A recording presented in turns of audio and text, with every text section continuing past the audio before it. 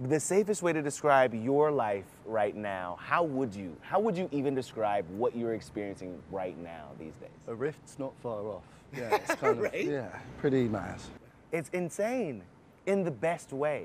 We were talking earlier, we were walking down the hallway, and I was saying to you, asking you if you had any idea when you were reading the scripts for this show that this role would be a kind of game changing, life changing scenario for you. Well, you never know, do you? I, I, I definitely wouldn't say that I read it and went, hmm.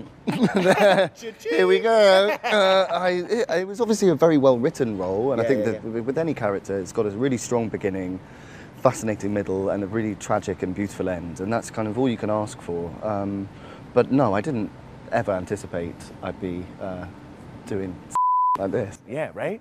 Did you ever anticipate you might meet yet another member Stop it. of No. the Hell You're not, are you? Fire Club? You're in the club? Boom, baby! Mm. Yes! Look at that. I even, Look cut the, I even cut the sleeves off Ah. because it's that serious. Come on.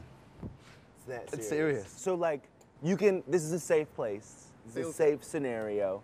But I, I, am, I am curious to know for you, like, what has been the biggest change? I mean, of course, there's like people who love the show. I mean, am I, correct me if I'm wrong, but I'm pretty sure this season of Stranger Things has broken all kinds of Netflix streaming records, all kinds of worldwide streaming records. I mean, it's huge. I think we broke Netflix at one point, which is kind of funny. It's kind of embarrassing.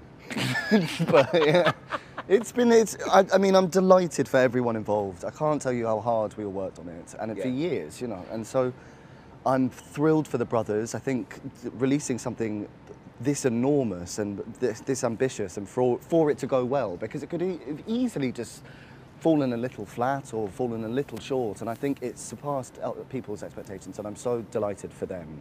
Uh, what was the question? No, I just, I'm, I was like, did I answer, did I answer the question? What- What's been the craziest thing? Yeah, what, what, is, what has been the thing that you like?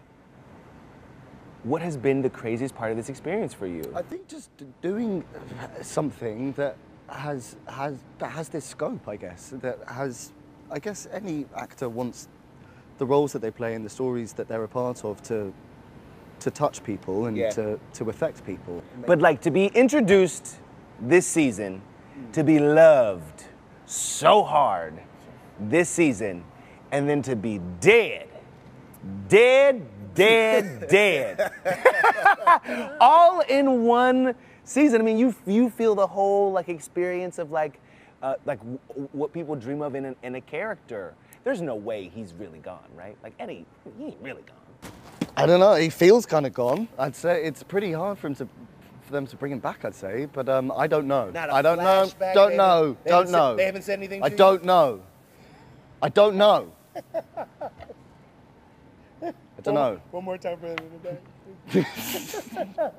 so what you're what you what you're saying to me is that there have been no conversations about season five quite yet. None that I'm a part of. I'm sure there's been lots of conversations, but I'm, uh, yeah, they're the grown-ups talking. I don't know. Okay. Yeah. So then tell me about your experience coming into this season. I mean, this is a tight-knit group. They're like a family. Yes. You know, we've been with the we really have been with them as they've grown up. We've seen these kids like blossom into not only young to actors, monsters. but to- yeah. No.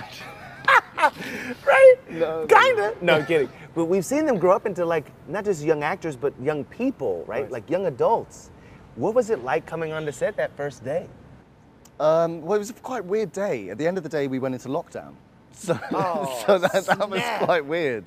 It was very strange. Uh, there was a build, big build up, and I was in Atlanta for three weeks trying on wigs. And then it got to, yeah, game day. And then uh, Shawn Just Levy yet. came out at lunchtime and said, We're going to finish the day, and then we're going to go into, we're going to have a two week hiatus. Cut to six.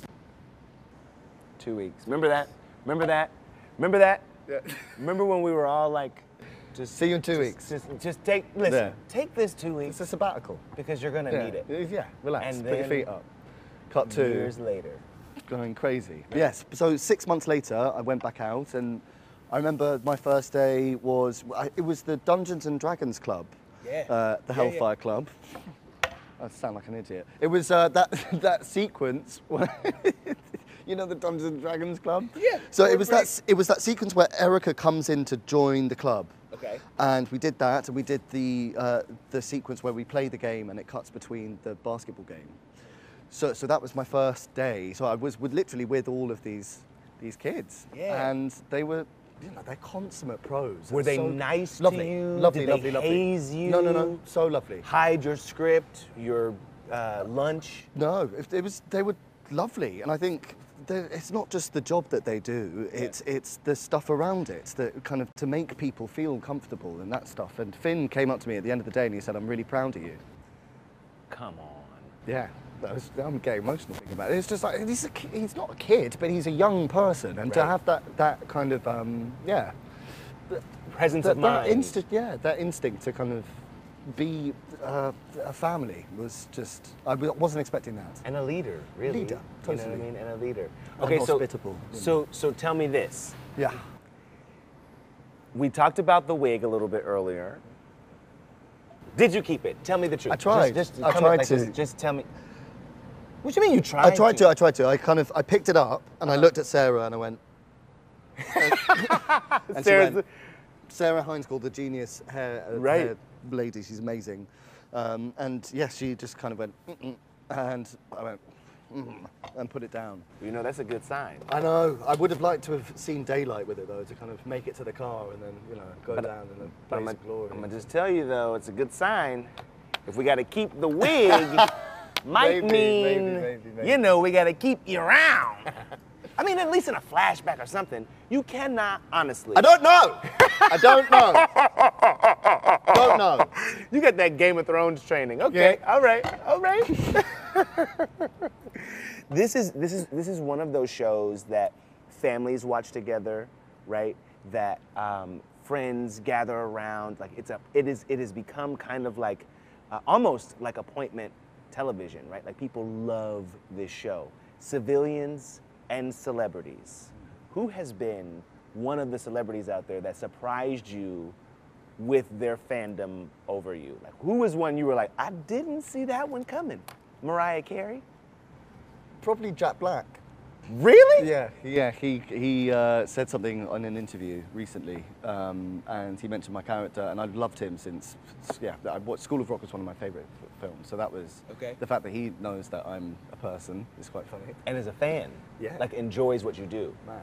What does that feel like? I mean, to be having this role be such a breakout role for you, what does it feel like to have that experience you had before Stranger Things and now Jack Black is talking about you in an interview?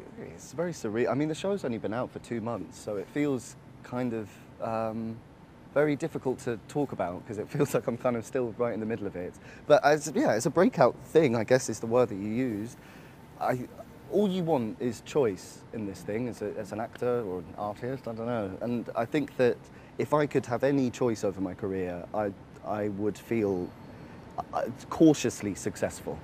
And, um, and if, if I'm able to, if this job can provide me with maybe a, a slither of choice, I would be a very, very happy man.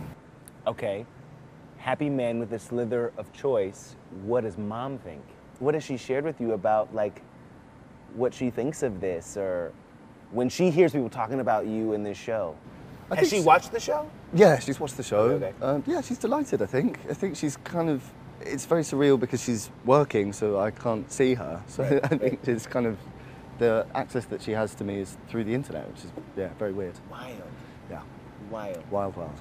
It has got to be cool to walk around New York, Paris, Miami, LA, any big city, and see Stranger Things billboards and buses, and to know that you're a part of that. I mean, this experience itself, I mean, it's kind of wild. It's astonishing. I think moments like this happen once in a generation, really. Something that has, it's a behemoth that Yeah. connects with people and makes people feel good and has, and the sentiment of it is, as you said, it's appointment television. There's something in it for everyone. And so to be a part of that is the greatest gift of my life. It's Yeah. insane. Now, you know, there's a theory out there that in season five, you might come back as a vampire. I just. wonder what would you I don't know. would you would you come know. back as a I don't know. but you would like I would love to come back. I'd love to come back, but I don't know if. but like as a vampire? As a vampire, maybe. Why not? Right? Why not? Okay, tell me this. I mean, and, and, and I guess this maybe in, in, in all seriousness, I, I really have enjoyed our time together in this Likewise. experience and, and, and in this scenario. But what would you tell the guy who was going out for the audition for this and maybe nervous? I, I wouldn't know what to tell him. He wouldn't know. He wouldn't. Wow, I. He wouldn't know what to say. Yeah, it's mad. mad. What was your audition like? It was disarmingly quick. I did two self tapes in my flat in London, and then they gave me the job. What? I know. Two self tapes. Really weird. Yeah. You got to do more. Uh, you got to do more interviews to get a job at Kroger. I don't know why they said yes, but yeah, it's weird.